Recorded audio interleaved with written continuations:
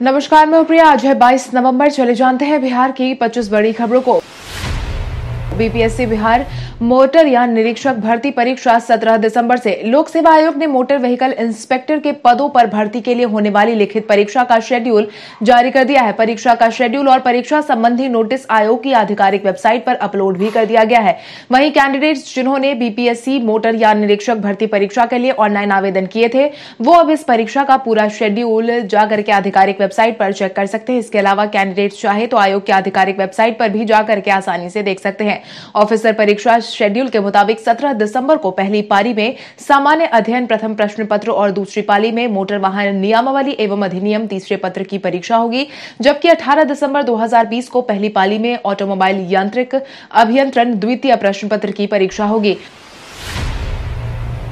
उगते सूर्य को अर्घ देने के साथ ही चार दिवसीय छठ व्रत का हुआ समापन। उगते सूरज को अर्घ देने के साथ ही चार दिवसीय छठ का समापन बीते दिन हो गया है। आपको बता दें, गुरुवार की रात्रि व्रतियों द्वारा खरना के पश्चात भूमि पर रात्रि विश्राम किया गया। इसके बाद अगले दिन, यानी कि शुक्रवार को सभी व्रती निर्जला रही, जिसके बाद परिवार के सभी सदस्यों के साथ व्रती अपने अपने गाँव कस्बा मोहल्ले के नजदीकी छठ घाट पर पहुँची और अस्ताचल गामी सूर्य को अर्घ दिया। आपको बता दें कि कैमूर ज़िले के प्रखंड मुख्यालय भगवानपुर, रामपुर, चैनपुर दुर्गावती, मोहनिया, कुदरा, रामगढ़ के अलावा कई प्रखंडों के साथ अन्य ग्रामीण इलाकों में छठ पर्व को लेकर के लोगों की भारी उत्साह देखने को मिली। हालाँकि कोरोना के कारण इस बार कई लोग घर पर ही छठ करते नज़र आए। आज बिहारी पर्यटन स्थल में हम बात करेंगे सासाराम की। ऐतिहासिक रूप से बिहार का रोहतास जिला पूर्व मौर्य काल में छठी शताब्दी ईसा पूर्व से पांचवी शताब्दी ईसा पूर्व तक मध्य साम्राज्य का हिस्सा था। यहाँ सम्राट अशोक का छोटा सा शिलालेख है जो यह बताता है कि स्थान पर मौर्य का शासन था। वही सासाराम रोहतास पर्यटन का मुख्य आकर्षण है। उनमें सबसे पहला नाम आता है रोहतासगढ़ किले का, जो अकेला एक उत्कृष्ट नमूना है और मुगल काल की वास्तुकला के बारे में बताता है। रोहतास में बहुत कम मंदिर मंदिर है और एक चाचा फगू मल साहिब जी का गुरुद्वारा है, जो एक पवित्र स्थान माना जाता है। बिहार में कोरोना प्रभावितों की संख्या मिली 200 के पार। बिहार में कोरोना प्रभावितों की संख्या में गिरावट देखने को मिल रही है। स्वास्थ्य विभाग की तरफ़ से बीते दिन के पिछले 24 घंटे में जारी किए गए आंकड़ों के अनुसार बिहार में कुल मिलाकर दो सौ अठहत्तर नए मामलों की पुष्टि की गई है, जिसके बाद प्रभावितों की संख्या बढ़कर दो लाख तीस हज़ार दो सौ सैतालीस पर पहुँच गई है। वहीं प्रभावित जिलों की संख्या की बात करें तो राजधानी पटना में कुल मिलाकर एक सौ नौ मामले सामने आए हैं। वहीं मुजफ्फरपुर में सत्रह मामले सामने आए हैं। भारतीय सेना ने चयन प्रक्रिया में किया बड़ा बदलाव। भारतीय सेना ने अब बहाली प्रक्रिया में बड़ा बदलाव किया है, जिसके तहत पुरुष उम्मीदवारों को बड़ी राहत मिली है। सेना में अधिकारियों की बहाली के तर्ज पर ही सैनिकों के चयन का पैमाना भी तय किया गया है। मिली जानकारी के अनुसार, लंबाई के अनुसार वज़न का पैमाना तय किया गया है। लंबाई के अनुसार वज़न के पैमाने में बदलाव किया गया है। इसके साथ ही नए पैमाने पर चयन प्रक्रिया शुरू की गई है। इसके साथ ही उम्मीदवारों को कम से कम एक सौ सत्तर सेंटीमीटर लंबाई का होना ज़रूरी है, जिनका न्यूनतम वज़न पचास किलोग्राम से बढ़ा बढ़ाकर अब बावन किलोग्राम रखा गया है। इसमें 17 से 20 साल की आयु वाले अभ्यर्थियों का अधिकतम वज़न तिरसठ किलोग्राम और 20 वर्ष से अधिक आयु वाले अभ्यर्थियों का वज़न छियासठ किलोग्राम होना ज़रूरी है। छठ पूजा खत्म होने के बाद भी यात्रियों को मिलेगी ट्रेनों की सुविधा। लोक आस्था का महापर्व छठ अब खत्म हो गया है, जिसके बाद जो लोग बाहर से अपने घर छठ पर्व मनाने आए हैं, उन्हें अब वापस जाने के लिए किसी भी तरह की परेशानी उठाने की कोई ज़रूरत नहीं है। मिली जानकारी के अनुसार रेलवे ने यात्रियों की सुविधाओं को ध्यान में रखते हुए फेस्टिवल स्पेशल ट्रेन को चलाने का निर्णय लिया है। रेलवे ने इस बाबत बाईस नवंबर से तीस नवंबर तक पूर्व से चल रही विशेष ट्रेनों के अतिरिक्त छठ पूजा स्पेशल ट्रेन चलाने का ऐलान किया है। रेलवे ने छठ पूजा ट्रेनों के लिए सारी तैयारियाँ पूरी कर ली है। ट्रेन ट्रेन संख्या शून्य पाँच दो छह नौ, मुजफ्फरपुर से अहमदाबाद 26 नवंबर को और ट्रेन संख्या शून्य पाँच दो सात शून्य रविवार उनतीस नवंबर तक चलाई जाएँगी। यह दोनों ट्रेनें एक पाँच दो छह नौ और एक पाँच दो सात शून्य के समय सारणी के अनुसार चलेंगी। इसके साथ ही रेलवे ने अन्य ट्रेनों की पूरी सूची भी जारी कर दी है। हर ज़िले के आसपास खोला जाएगा बड़ा शैक्षणिक संस्थान। बिहार में शिक्षा व्यवस्था को मज़बूत करने की पहल तेज हुई है, जिसके तहत आने वाले सालों में विद्यार्थियों को उच्च शिक्षा के लिए घर छोड़कर दूर जाने की ज़रूरत नहीं होगी। नई शिक्षा नीति में उच्च शिक्षा के बीच की इस दूरी को पाटने की बड़ी पहल की गई है, जिसके तहत अगले दस सालों तक प्रत्येक ज़िले या आसपास ही एक ऐसा बड़ा बहु विषयक संस्थान विकसित या स्थापित करने का प्रस्ताव किया गया है, जिसने सभी विषयों की पढ़ाई आसानी से करवाई जा सकती है। यह संस्थान सार्वजनिक सार्वजनिक और निजी दोनों ही क्षेत्र में हो सकते हैं। नई शिक्षा नीति के क्रियान्वयन के लिए सरकार की तरफ़ से बढ़ाए जा रहे कदम केंद्र सरकार से नई शिक्षा नीति के क्रियान्वयन पर दिए गए निर्देश के आलोक में शिक्षा विभाग ने अमल करना शुरू कर दिया है। अगले 24 घंटे में ठंड के स्तर में होगी बढ़ोतरी। देश भर में ठंड ने दस्तक दे दी है। यही कारण है कि दो तीन दिनों से ठंडी हवा भी बह रही है और लोगों को मौसम में बदलाव भी साफ़ नज़र आ रहा है। सुबह सवेरे ठंड सबसे ज़्यादा महसूस की जाती है। इसके साथ ही रात में भी मौसम में ठंड महसूस किए जा सकते हैं। बिहार की राजधानी पटना में आसमान में बादल छाए रहने की वजह से तापमान में ज़्यादा गिरावट नहीं रिकॉर्ड की गई है। मगर मौसम वैज्ञानिकों की माने तो चौदह शहरों के लिस्ट में सबसे कम न्यूनतम तापमान चौदह डिग्री सेंटीग्रेड देहरी में रिकॉर्ड किया गया है। इसके साथ ही 24 से 48 घंटे में तापमान में थोड़ी गिरावट देखने को मिल सकती है। उसके बाद पश्चिम विभोक्ष आने के आसार है, जिसकी वजह से न्यूनतम तापमान में कमी देखने को मिलेगी। छठ पूजा के दौरान कई लोगों की गई जान। बिहार के कई जिलों में छठ पूजा के दौरान अलग अलग जगहों पर कई लोगों की जान चली गई है। सुपौल ज़िले में छठ पूजा के लिए घाट पर जा रहे दो सगे भाइयों की जान चली गई। वहीं एक परिवार के दो लोगों की जान भी बीते दिन चली गई है। इसके साथ ही बेगूसराय में दो अलग अलग जगह पर डूबने के कारण कई लोगों के जान जाने की खबर भी सामने आई है। इसके साथ ही वैशाली के विद्युत और राघोपुर में छठ पूजा के दौरान नहाने के दौरान दो युवक नदी में डूब गए हैं। इतना ही नहीं, समस्तीपुर के दल सिंह सराय के कौनयला पोखर में छठ पूजा के दौरान नाव पलट गई, जिसमें एक युवक की जान चली गई थी। आज बिहारी पहचान में हम बात करेंगे प्रणति रॉय प्रकाश की।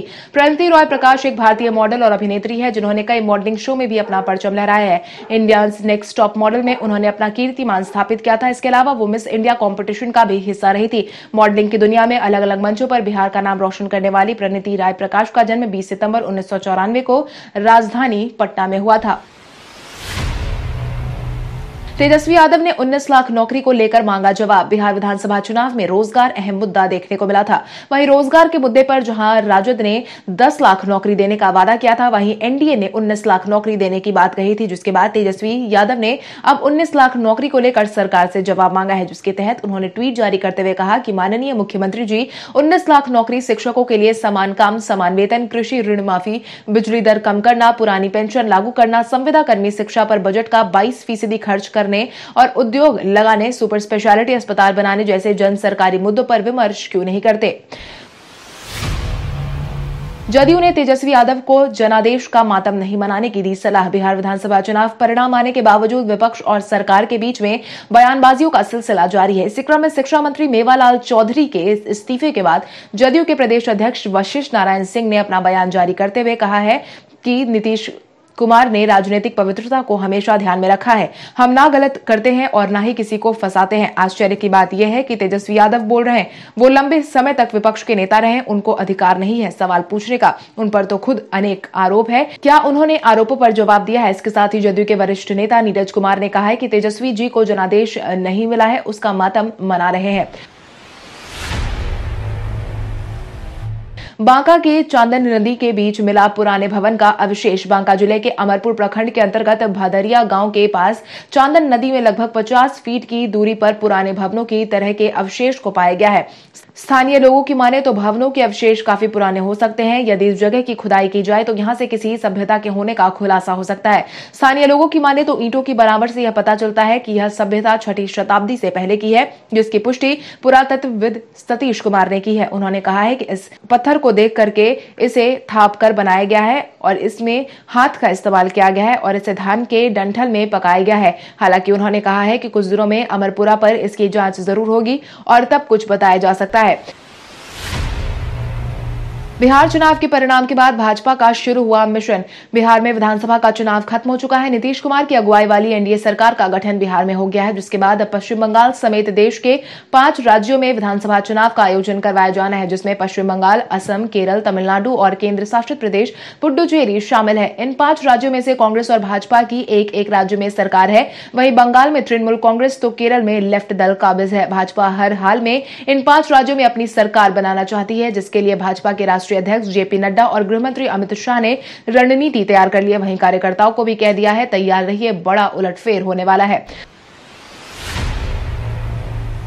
बिहार विधानसभा चुनाव में जीत से उत्साहित है ओवैसी। बिहार विधानसभा चुनाव में एआईएमआईएम को पाँच सीटों पर मिली जीत से असुद्दीन ओवैसी काफ़ी ज़्यादा उत्साहित नज़र आ रहे हैं। इसके साथ ही पूरे बिहार में पार्टी का विस्तार करने, साथ ही जिला स्तर पर संगठन खड़ा करने का फैसला कर चुके हैं। इसके बारे में ओवैसी ने एआईएमआईएम के प्रदेश पदाधिकारी को निर्देश जारी किया था। आपको बता दें, सभी अड़तीस जिलों में संगठनात्मक ढांचा खड़ा करने का निर्देश एआईएमआईएम के एक प्रांतीय पदाधिकारी के मुताबिक पार्टी प्रमुख ओवैसी की तरफ़ से बिहार में सभी अड़तीस जिलों में संगठनात्मक ढांचा ढांचा खड़ा करने का निर्देश दिया है।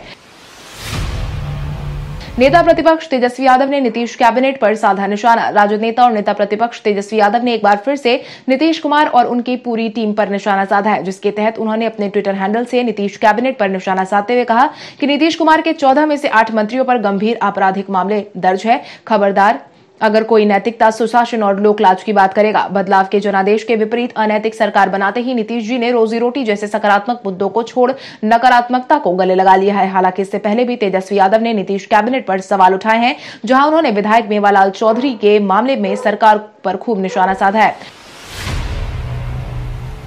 चुनाव आयोग से जदयू ने की खास मांग। बिहार विधानसभा चुनाव के परिणाम आ चुके हैं, मगर राजनीति अभी भी लगातार जारी है। इसी बीच जदयू ने चुनाव आयोग से खास मांग की है, जिसके तहत जदयू ने चुनाव आयोग से मांग करते हुए तेजस्वी यादव तेज प्रताप यादव के गलत हल्फनामे की जाँच करने की मांग की है। जिसके तहत जदयू नेता अजय आलोक ने सुप्रीम कोर्ट में यह मांग की है, जिन पर मामला दर्ज है, उन पर तुरंत सख्ती दिखाई जाए। आपको बता दें, चुनाव के दौरान ही जदयू लगातार तेजस्वी यादव और तेज प्रताप यादव की तरफ़ से आयोग को गलत हल्फनामा पेश करने की बात कहती आई है। वहीं अब एक बार फिर से जदयू इस मुद्दे को उठाने में जुट गई है।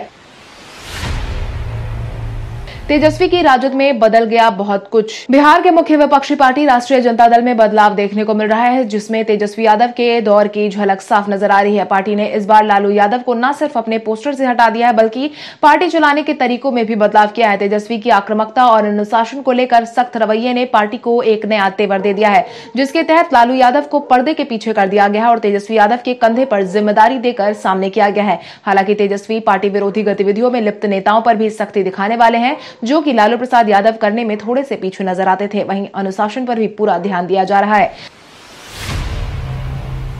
कोरोना काल में नौकरी गंवाने वालों के लिए केंद्र सरकार उठा सकती है अहम कदम। कोविड 19 के माहौल में मार्च से लेकर सितंबर के दौरान 40 लाख लोगों को अपनी नौकरी गंवानी पड़ी थी। बीते दिन ईपीएफओ की तरफ़ से रिलीज़ किए गए पैरोल डेटा के मुताबिक सात महीनों में लगभग उनचालीस लाख कर्मचारियों ने उन कंपनियों को छोड़ा है जो पीएफ में योगदान करती है। अब सरकार ने इन लोगों को नौकरियाँ देने के लिए कंपनियों को प्रोत्साहित करने के मकसद से आत्मनिर्भर भारत रोज़गार योजना को शुरू करने का फैसला लिया है। स्कीम के तहत सरकार को अक्टूबर 2020 से लेकर जून 2000 2021 तक इन कर्मचारियों को नियुक्ति देने वाली कंपनियों को सरकार की पीठ योगदान में पूरी तरह से सब्सिडी देगी।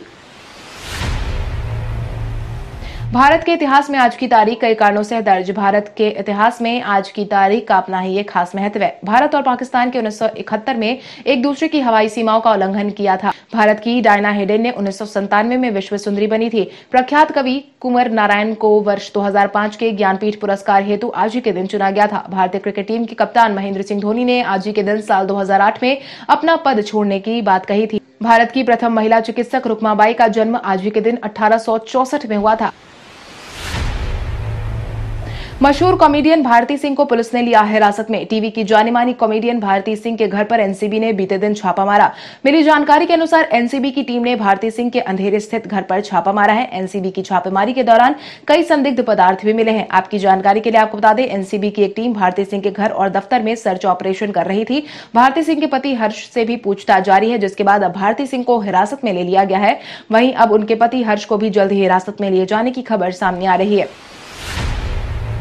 कंगारू ऑलराउंडर मार्क्स स्टोइनिस ने बताई मैदान में उतरने की रणनीति। आईपीएल के बाद अब ऑस्ट्रेलियाई दौरे पर भारतीय टीम इन दोनों है। वहीं मैच से पहले कंगारू ऑलराउंडर मार्क्स स्टोइनिस ने अपनी रणनीति की चर्चा की है, जिसके तहत मार्क्स ने कहा है कि विराट कोहली मैदान में हर बार अपना शत प्रतिशत देते हैं और उनकी टीम भारतीय कप्तान की चुनौती से निपटने के लिए उसी अंदाज में तैयारी कर रहे हैं। वहीं उन्होंने कहा कि मुझे यकीन है कि कोहली के जाने के बाद भारत आगे की तैयारियों के साथ तैयार होंगे। मेरे अनुसार कोहली के पेटर्निटी लीव पर जाने का फैसला बिल्कुल सही है इसलिए मुझे यकीन है कि वो अतिरिक्त प्रेरित होंगे। कोहली हालाँकि लिमिटेड ओवर के छह मैच में एडलेड में खेले जाने वाले शुरुआती टेस्ट मैच के बाद पेटर्निटी लीव पर भारत वापस लौटने वाले हैं।